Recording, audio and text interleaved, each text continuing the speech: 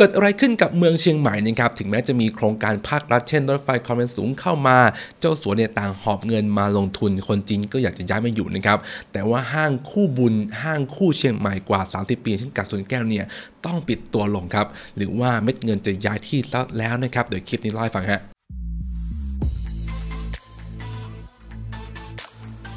สวัสดีทุกคนนะครับ ผมคิมฮะคุณอยู่ช่อง Property Expert ร้านที่มาพูดคุยกันถึงเรื่องอสังหาริมทรัพย์ ถ้าคุณรักอสังหาเนี่ยเราคือเพื่อนกันครับ ในคลิปนี้ชวนคุยนะครับเรื่องของกาดสวนแก้วครับ เป็นห้างดังคู่เมืองเชียงใหม่กว่า 30 ปี ล่าสุดเนี่ยก็ปิดตัวเป็นที่เรียบร้อยแล้ว พร้อมทั้งกับอีกห้างอื่นๆนะครับที่เป็นห้างดั้งเดิมเนี่ยก็ปิดตัวเช่นเดียวกันครับ หากพูดถึงเชียงใหม่นะครับหลายคนก็จะนึกภาพถึง culture วัฒนธรรมแบบดั้งเดิมแบบล้านนานะครับแล้วก็เป็นหนึ่งในเมืองท่องเที่ยวสำคัญของเมืองไทย คนจีนเนี่ยก็ต่างชื่นชอบมาเที่ยวที่นี่อีกด้วยเพราะถ้าหากพูดถึงเชียงใหม่แล้วนะครับค่อนข้างอยู่ใกล้กับเมืองจีนครับก็คือทางตอนใต้ของจีนเนี่ยบินมาลงเชียงใหม่เพียงแค่ 1-2 ชั่วโมงเท่านั้นนะครับรวมถึง culture วัฒนธรรมตรงนี้ทำให้คนจีนนะครับชื่นชอบเชียงใหม่เป็นอย่างมาก แล้วก็วางแผนจะเป็นบ้านหลังที่ 2 ของเมืองจีนครับไม่พอนะครับนอกจากนั้นเนี่ยยังมีโครงการภาครัฐนะครับเช่นตัวรถไฟความเร็วสูงที่จะวิ่งนะครับจากเชียงใหม่เนี่ยลงมายังกรุงเทพมหานครอีกด้วยนะครับซึ่งรถไฟตัวนี้เนี่ยเป็นความร่วมมือกันระหว่างไทยกับทางเครือของญี่ปุ่นครับโดยจะเป็นรถไฟที่เอาไว้เชื่อมภาคเหนือนะครับแล้วก็ลงมาที่กรุงเทพมหานคร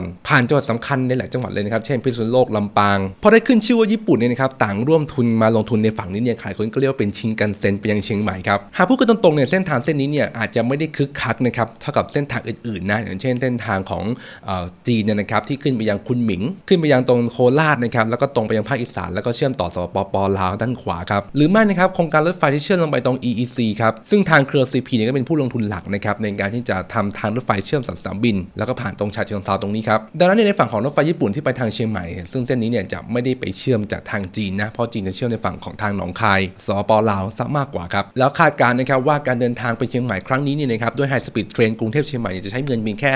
1,088 บาทเท่านั้นนะครับซึ่งต้องเรียกว่าถูกกว่านั่งเครื่องบินเยอะเลยฮะ ส่วนตัวเนี่ยผมชอบนั่งรถไฟมากกว่านะครับ เพราะว่าไม่ต้องไปรอขึ้นเครื่องรอลงเครื่องนะ ควบคุมเวลาอะไรเนี่ยได้ค่อนข้างดีกว่าด้วยนะครับ ที่สำคัญคือราคาถูกด้วยฮะ นอกจากนั้นนะครับในฝั่งของเจ้าสัวเจริญเนี่ยเขาก็มีที่ดินตรงเชียงใหม่มากมายเลยนะครับสะสมเป็นร้อยไร่นะ หลายแปลงก็อยู่ในใจกลางเมืองครับ แล้วก็มีโปรเจกต์เกี่ยวกับการท่องเที่ยวเช่น ตัวโรงแรมนะครับที่ลงทุนผ่านบริษัท AWC เนี่ยก็หลายโรงด้วยครับ แล้วก็วางแผนจะปั้นตัวโปรเจกต์ Lannatique นี่ครับที่ลงทุนกว่า 30,000 ล้านบาทเลยทีเดียว เอาจริงๆนะครับเราพูดถึงเท่านี้เนี่ยก็เห็นภาพว่าเชียงใหม่มีศักยภาพเติบโตจริงๆนะหนึ่งคือเป็นเมืองหัวเมืองหลักอยู่แล้วนะครับสองคือโครงการภาครัฐนะครับสามคือคนจีนต่างแห่เข้ามาอยู่เข้ามาลงทุนนะครับหรือว่าเอาคนมาเรียนโรงเรียนนานาชาติแถวนี้เจ้าสัวเองก็มีโปรเจกต์ไม่กับโปรเจกต์ในบริเวณพื้นที่นี้อีกด้วย เมื่อปีที่แล้วนะครับกาดสวนแก้วเนี่ยที่เป็นตำนานห้างดังนะอยู่คู่เมืองกับเชียงใหม่เนี่ยมากว่า 30 ปีนะครับตอนนี้เนี่ยก็ปิดตำนานไปตามห้างหัวเมืองหลายพื้นที่ทั่วไทยแล้วครับต้องยอมรับนะครับว่าเทรนด์ห้างสรรพสินค้าตามต่างจังหวัดเนี่ยนะครับมีการปิดตัวไปอย่างต่อเนื่องเนี่ยมันมาแรงจริง ๆ ในช่วงหลังๆนะครับ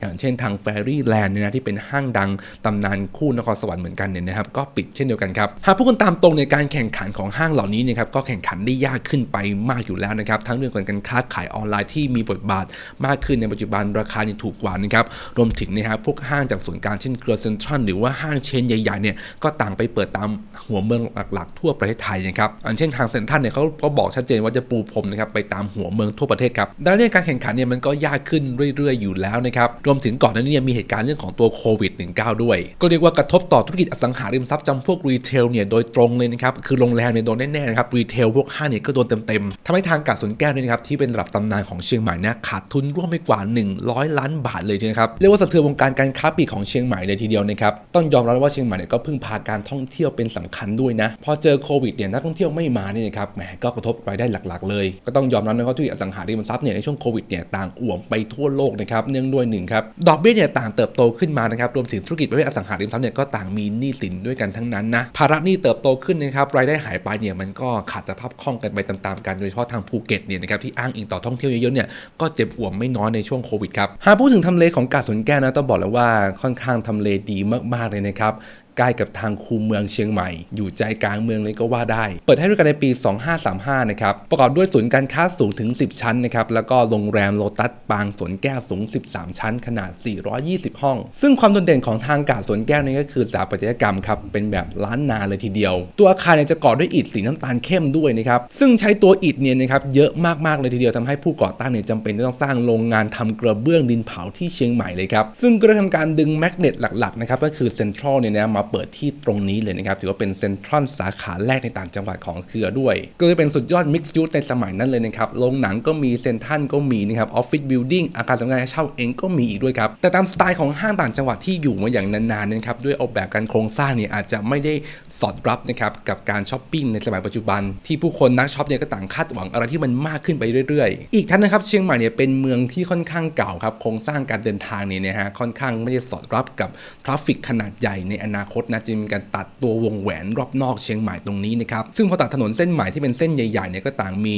พวกห้างใหม่ๆเข้ามาเปิดเช่นเดียวกันนะครับเช่นทางเซ็นทรัลเฟสติวัลก็ต้องบอกตรงนี้เซ็นทรัลเนี่ยเล่นใหญ่เล่นโตมากๆเลยนะครับแถมยังมีห้างจากส่วนกลางจากกรุงเทพเนี่ยเข้ามาเยอะเช่นตัวแมคโครอีกด้วยโรงพยาบาลชื่อดังก็มาตั้งอยู่ในบริเวณเส้นนี้ครับบิ๊กซีเชียงใหม่ก็อยู่ตรงนี้นะครับซึ่งจะเห็นภาพได้ชัดนะครับว่าเส้นใหม่เส้นนี้เนี่ยมันก็ต่างมีบรรดา retail ยักษ์ใหญ่เนี่ยนะครับจากส่วนกลางระดับประเทศเนี่ยเข้ามาเปิดกันเยอะแยะนะนอกจากการเดินทางตรงนี้เนี่ยสะดวกมากกว่าแล้วด้วยนะครับยังมีห้างโรงพยาบาลที่ทันสมัยอยู่ในโซนบริเวณตรงนี้ครับต้องบอกว่าเซ็นทรัลเชียงใหม่เนี่ยดูสวยจริงๆนะครับแล้วก็ใหม่กว่าด้วย แล้วก็ตอบโจทย์นะครับนักเที่ยวในเชียงใหม่ทั้งคนไทยและคนต่างชาติครับทำให้การมาของคู่แข่งจากส่วนกลางมาขนาดนี้นะครับการเปลี่ยนแปลงในมุมของถนนหนทางครับการเดินทางของผู้คนเองก็เปลี่ยนไปทำให้ห้างดังๆเก่าแก่เนี่ยนะครับก็เริ่มจะค่อยๆ สู้ไม่ค่อยได้รวมถึงเนี่ยตัดสินใจปิดกิจการไปนั่นเองนะครับก็เรียกว่าพอเกิดโควิดปุ๊บเนี่ยมันก็แหมหนักจริงๆครับไม่ใช่แค่เครือเซ็นทรัลที่เข้ามาเปิดห้างในเชียงใหม่นะครับอย่างเช่นเครือของ SF นี่นะก็มาทำธุรกิจคอมเพล็กซ์นะครับทำตัวห้างชื่อว่าเมย่าด้วยนะอยู่ใจกลางเชียงใหม่เลยครับนอกจากห้างดั้งเดิมที่อยู่คู่เมืองเชียงใหม่มา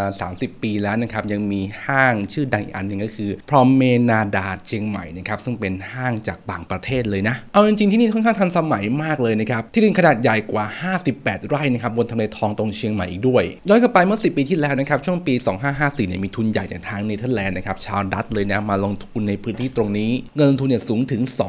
800 ล้านบาทเลยนะครับ ก็จับกลุ่มลูกค้าที่แบบว่ามีกำลังซื้อสูงนะครับ แล้วก็มีพื้นที่สวนเนี่ยค่อนข้างเยอะอีกด้วยนะ จุดความท้าทายของทางที่นี่ก็คือว่าเขาทำการดึงนะครับร้านค้าที่แบบไม่ได้ติดแบรนด์จากห้างอื่นๆเนี่ยเข้ามาที่นี่เยอะเลย ก็คือแบรนด์ท้องถิ่นแบรนด์ที่ไม่ติดสัญญาจากที่อื่นเนี่ยนะครับเข้ามาเปิดที่นี่ฮะ ได้แก่ริมปิงซูเปอร์มาร์เก็ต Toys R Us Sports World Kitty World แต่พอเปิดมาเนี่ยก็ไม่ได้ปังเท่าที่ควรนะครับ มีคนเดินเนี่ยน้อยกว่าตามห้างที่อื่นฮะคำถามคือให้จุดอ่อนเนี่ยอยู่ที่ตรงไหนนะครับทางประชาชาติก็วิเคราะห์มาว่าอันดับแรกเลยนะครับ ทางผู้บริหารนี่ก็มาจากต่างประเทศนะครับ ก็คือสัญชาติดัชทั้งหมดเลยทำให้แนวคิดในการออกแบบโครงการเนี่ยก็จับกลุ่มชาวต่างชาติเป็นหลักนะครับ เพราะอาจจะไม่ได้ตอบโจทย์คนไทยอะไรมากนัก คือถึงแม้ว่าทำเลจะดีเยี่ยมนะครับ รวมถึงมีที่จอดรถที่ค่อนข้างสะดวกสบายครบครันเนี่ยนะ แต่ว่าก็ยังไม่ตอบโจทย์กับผู้บริโภคชาวไทยนั่นเอง มีการบอกว่าการออกแบบตัวอาคารนี่นะครับทำให้เข้าถึงยากรวมถึงไม่ถูกหลักฮวงจุ้ยอีกด้วยนะ ซึ่งประเด็นนี้ก็พูดยากนะครับ เพราะว่าทางฝั่งตะวันตกเนี่ยเขาก็อาจจะไม่ได้อินกับทางฮวงจุ้ยอะไรกันในฝั่งของเอเชียบ้านเรานะครับ แต่ก็ต้องยอมรับว่าคนค้าคนขายเนี่ยพอฮวงจุ้ยไม่ดงไม่ได้เนี่ยนะครับเขาอาจจะรู้สึกตรงนี้ก็ได้